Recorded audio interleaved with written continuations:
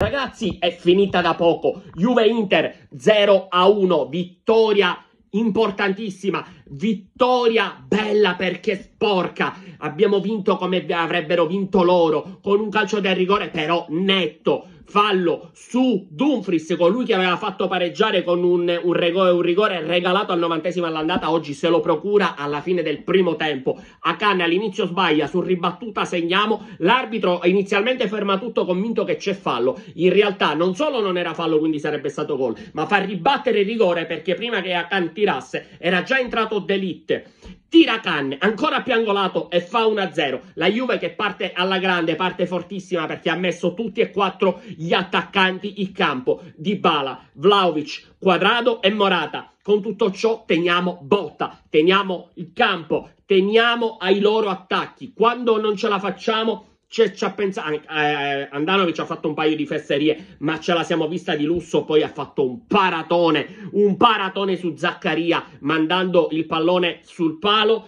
partita giusta, così in questa sembrava l'Inter di Conte. Aspettiamo, aspettiamo e poi colpiamo. Abbiamo fallito in un paio di occasioni che potevamo fare molto meglio, ma era il risultato che volevo. Abbiamo espugnato il, il Cesso Stadium dopo dieci anni Andiamo di nuovo a più 4 sui gobbi. Siamo ancora in corsa scudetto e abbiamo una partita in meno. E non solo, ma io sono sicuro che vincere a Torino darà un'energia mentale a questi giocatori che praticamente lo sliding doors inverso di quello che è successo al derby. Se lì quella sconfitta ci aveva un po' demoralizzato, questa ci deve gasare, farci capire che noi siamo l'Inter, che noi siamo più forti degli altri, che noi possiamo battere chiunque. Abbiamo battuto il Liverpool, abbiamo battuto la Juve in casa loro, abbiamo perso quel derby in quella maniera, ma nemmeno loro sanno come l'hanno vinto, quindi ci siamo, siamo vivi, sono orgoglioso di questi ragazzi perché anche se non hanno fatto un partitone hanno dimostrato di fare di tutto per portare a casa la vittoria. Hanno fatto di tutto per cercare per vincere la partita.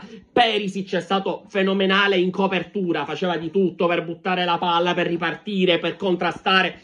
Grandi tutti, grande Gagliardini, grande Vidalle sono entrati concentrati. L'obiettivo era uno, vincere e non importava come, l'importante era vincere Sti gobbi maledetti erano sempre a terra, sempre a terra, cercavano il rigore. Ogni occasione, ogni cross ce n'era uno a terra che piangeva per il rigore. Siete buffoni, pure quando perdete siete buffoni. E poi io voglio capire come mai Allegri a fine primo tempo non sia stato espulso. Un allenatore che si toglie la giacca, che grida in faccia al quarto uomo, non gli hanno fatto niente. Ragazzi, sono una scenata del genere. La faceva Inzaghi, lo buttavano fuori. Se lo faceva Inzaghi, lo buttavano fuori. Lo fa Allegri e non succede nulla. E l'importante è vincere in casa loro 1-0, 1-0 con un calcio di rigore in faccia ai gobbi bastardi. Ragazzi, sono troppo felice, non riesco ad analizzare oltre la partita, quindi se state godendo mettete mi piace, commentate, condividete, ci vediamo tra poco su Inter for Passion. Io vi saluto nel bene e nel male. Amala, forza Inter!